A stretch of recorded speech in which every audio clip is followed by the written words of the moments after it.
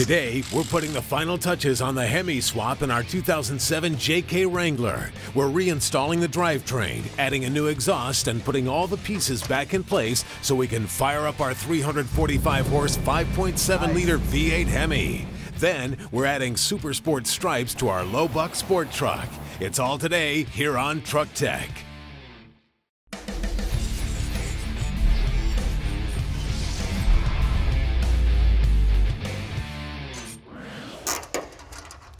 Hey, welcome to Truck Tech. Well, this 93 Chevy pickup is really shaping up and it's just about done, kind of winding down on the project. And so far, we're really happy with the way this thing has been transformed from a mild up, just a worn out pickup truck to a very presentable and very cool looking daily driver. With almost everything done, there's a couple little details that we wanted to address, one of them being paint. And I wanted to show you guys a detail that you can do that's going to lift this paint job from just a respray to a full on custom job for a fraction of the financial and time investment that you would think went into it. All right, now before Kevin gets his paint gun out, we've got some work to do here on the shop on our JK Hemi swap. Last time you guys saw this thing, we had the engine and trans sitting in between the frame rails for a test fit. Since then, we've had a chance to fully weld in the engine mounts, get them all painted up, and well, this engine and trans is in there to stay. And that means we've got a bunch of work to do to get it up and running, hooking up things like power steering, the AC lines, finishing up this wiring, getting a radiator in here so we can finish up the engine bay, and we've got to hang a transfer case off the back of the transmission and get an exhaust system installed. So hopefully by the end of the day, we can hear how our new Hemi sounds. Now we've got a lot of work to do, so we're going to be moving through it pretty quickly. The first thing we're doing is hanging the stock transfer case off of the back of the swapped in truck transmission, and it bolts right up. Then the T-case shift cable bracket gets installed, which is hard to get to. Thank goodness for ratcheting wrenches. This bracket was part of the kit, the transfer case shifter cable slides right in. Then we can install the transmission mount adapter to the back of the transmission. This will allow us to reuse the original transmission mount assembly.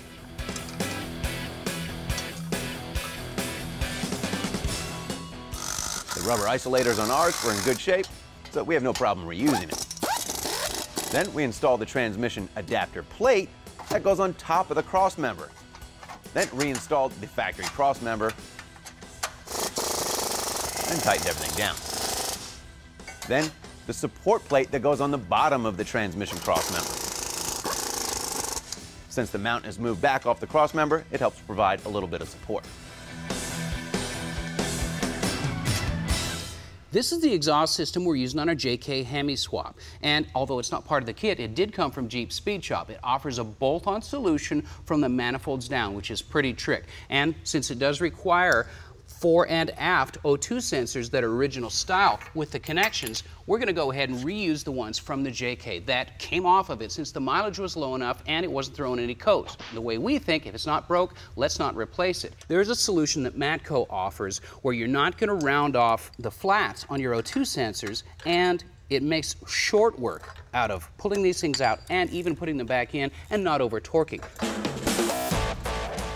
Now for heater hoses, rather than replace the entire section or the full length of hose, what we're going to do is going to keep a portion of the factory hose because it's molded and fits nicely around the cylinder head. So we're just going to splice into it using 5 8 heater hose from the parts store. We also swapped out a couple of noisy idler pulleys, replaced the belt tensioner, installed a new oil filter, and a new serpentine belt. We're to be running a mechanical fan. Now the factory battery box or tray gets replaced with a steel version that came with our swap kit. But this one holds two batteries.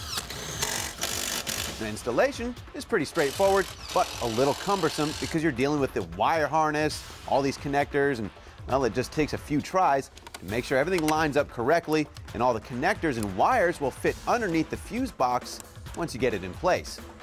And the nice thing is, all this wiring well, it plugs right in. There's no splicing, looking for key on power, or adding relays. It's pretty slick. Just don't forget to reattach the factory fuse panel power supply. You won't be going anywhere. Now to get our power steering system up and running, we use the JK Reservoir, a relocation bracket from the swap kit, modified JK feed and return lines, and the supplied power steering pressure line. And it worked out pretty well. All right, next up, we're going to install the fuel adapter line that came in our Jeep Speed Shop swap kit and the evaporative emissions line that came on our JK from the factory. Now, this line uses factory style connectors and it'll plug right in. Now, if you guys remember, we use this DEI heat shield sleeve to protect the wiring harness when we cut off the original engine mounts. Well, now we're going to use it to provide some heat shielding and a little bit of abrasion resistance to our new fuel line. Up next, it's time to fire up our Hemi. And later, it's Super Sport Stripes 101. Stick around.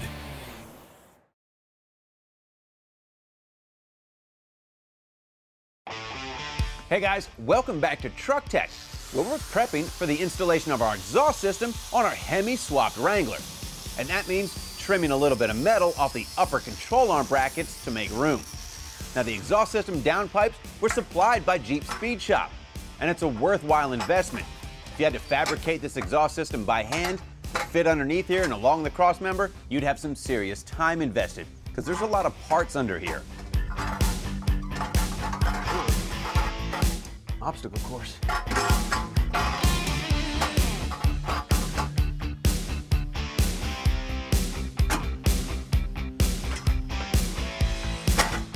There we go. And once you've got the front half of the exhaust system positioned where you want it, well then you can snug down the connections at the manifolds along with plugging in the O2 sensors both before and after the converters. Then you can reinstall the factory skid plates. Now, even though we've moved the transfer case back about four inches, well, the factory skid plate is still gonna work and offer some protection. Pretty nice how that worked out. And with the Jeep back on the ground, we installed the evaporative emissions purge valve on our battery box, reattach the electrical connector, and plug in the lines. Just use a piece of vacuum tube. The other end of this hose gets attached to an unused port on the intake manifold. Then we can get to work reassembling the front end of this thing. Starting with the radiator support and plugging in the headlights. Once that's loosely in position, then we can move on to the radiator and AC condenser. I wanted to install them as an assembly, so I went ahead and bolted them together. It's a lot easier to do it outside of the vehicle than it is to try to wrestle them in place individually. Now this is a nice aluminum radiator and you don't want to mess it up getting it into position. Now, speaking of radiators, there's guys that say you can get away with using a stock radiator on a Hemi Swap JK. There's also guys that say if you use a stock radiator, you're going to have overheating issues. So we erred on the side of caution and went for the radiator upgrade. Because we don't want to have to dial it back while we're out having fun in our new V8 powered Wrangler because of an overheating issue.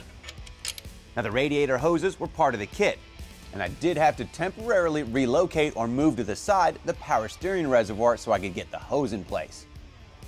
Then all we've got left to do to finish up the front end is add the grill.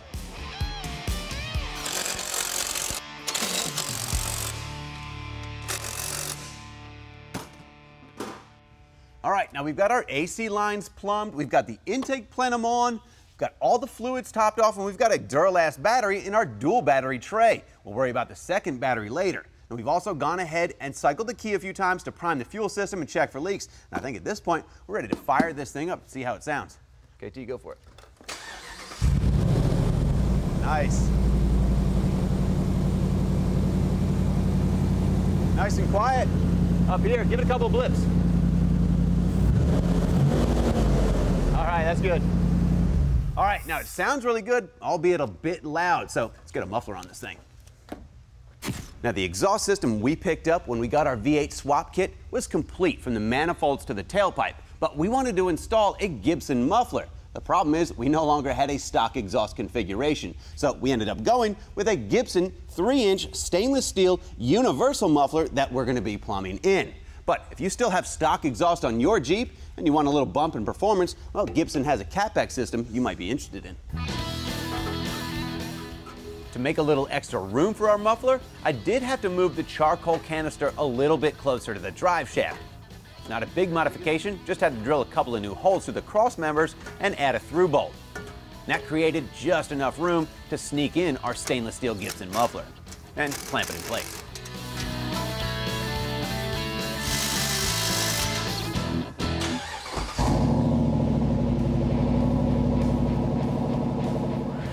After the break, how to use quarter inch tape to make super sport stripes. Stay tuned. That's what I'm talking about.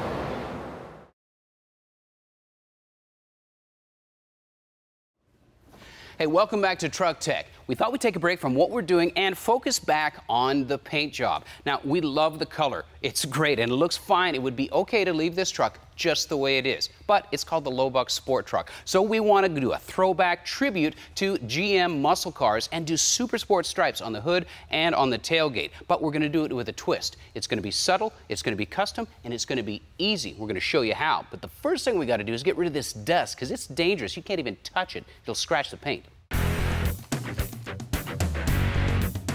I'm using glass cleaner and a clean microfiber towel. Essentially what I'm doing is putting enough glass cleaner on to be able to lift the dirt up and then wipe it off in one direction without scratching the paint. The second stage involves another clean microfiber and just basically getting the rest of the glass cleaning residue off of the panel. And now we've got a perfectly clean panel to do whatever we want to do with it without risking scratching the paint. There's no end to the different varieties and designs of stripes. Super Supersport stripes have an iconic look, but there's no rules here. You can be custom if you want. So I'm using this guide that I pulled off the internet. It's just a printed off picture of a basic layout on a 69 Chevelle. I like the way the stripes terminate and we're going to go with that design as a loose guide. The first thing that you always want to do when you're doing graphics is establish your center line because you want symmetry. It has to be even on both sides. With the hood, it's easy. We got a peaked edge, so it kind of tells its own story.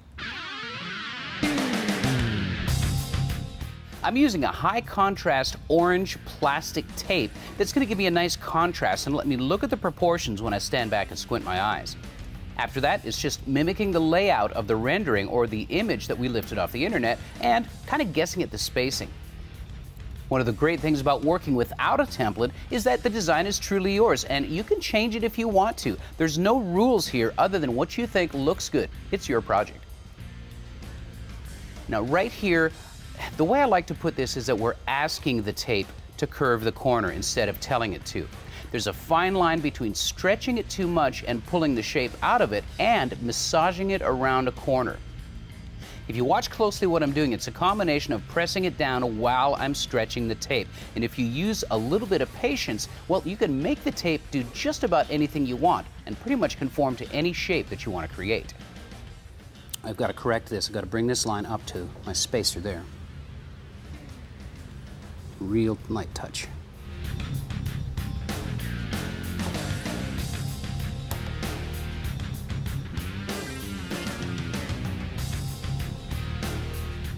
Get that guy out of the way.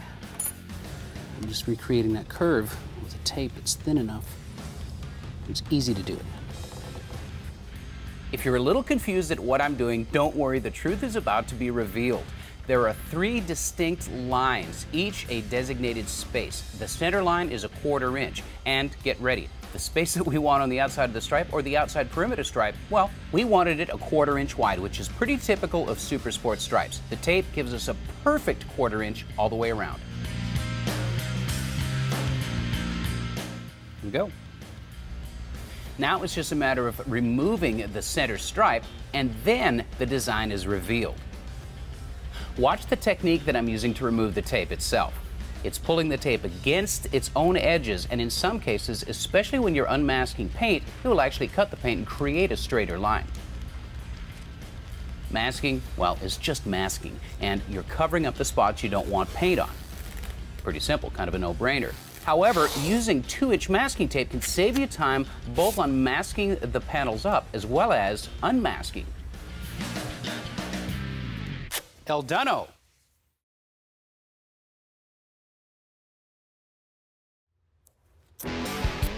Hey, welcome back to Truck Tech, where we're showing you the last few details on making your own template for Super Sport Stripes. On these corners, I'm not asking the tape to do something it doesn't want to do. Just straight pieces, but I'm making sure that I'm covering up at least half of that line of the fine line.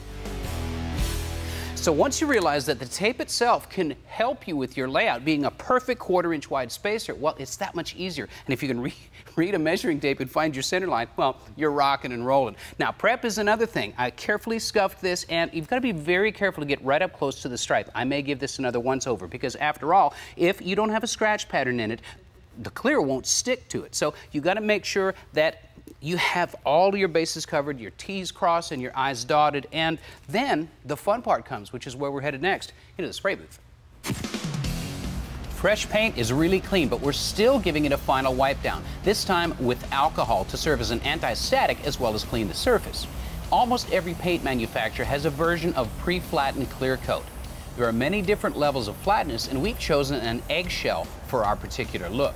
The first coat is a very light coat because we're not after a bunch of film build on the paint itself. After about 15 minutes flash time, we do a heavier second coat. Now you want to respect the rules of the clear and the goal here is to have a streak-free surface, which can sometimes be a challenge with pre-flattened clear coats. Here I'm unmasking with the clear just out of dust, which means it's dry enough to where it won't take anything in the surface, but it's still pretty sensitive. Unmasking with the paint still wet, allow the edges to self-level. That's what I'm talking about.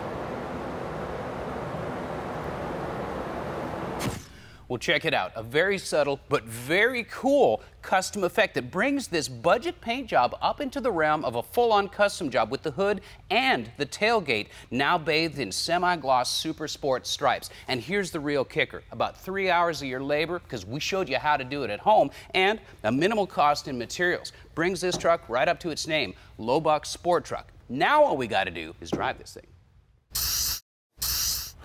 An air hammer has a bunch of different uses in the shop, not just in the body shop. And the new Matco MT2816K steps up the game. It's got a patented quick release, making bit changes a snap. It's ergonomically designed with a vibration control system built in and a variable speed throttle mixed in with the trigger for more detailed work. The MT2816K comes with an assortment of bits and a case, as well as delivering 20% more power over comparative tools, and is available wherever Matco products are sold. Now, if you've got a 2013 or 2014 Dodge 2500 or 3500 series truck and you want a leveling kit, check out what Zone Off-Road has to offer.